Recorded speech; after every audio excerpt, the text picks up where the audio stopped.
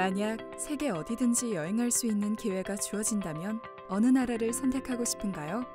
가까운 나라인 일본이나 중국에 가보고 싶은 사람도 있을 것이고 비교적 먼 유럽이나 아프리카에 가보고 싶은 사람도 있을 것입니다.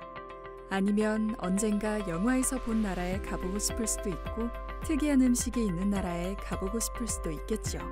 여러분 각자 다른 이유가 있을 것입니다. 요즘에는 인터넷과 SNS의 발달로 여러 나라를 간접적으로 체험할 수 있어 선택의 폭이 넓어졌습니다. 여러분은 어떤 나라에 가고 싶나요? 왜 그곳이 궁금하고 그곳에서 어떤 경험을 하고 싶은가요? 함께 이야기해 봅시다.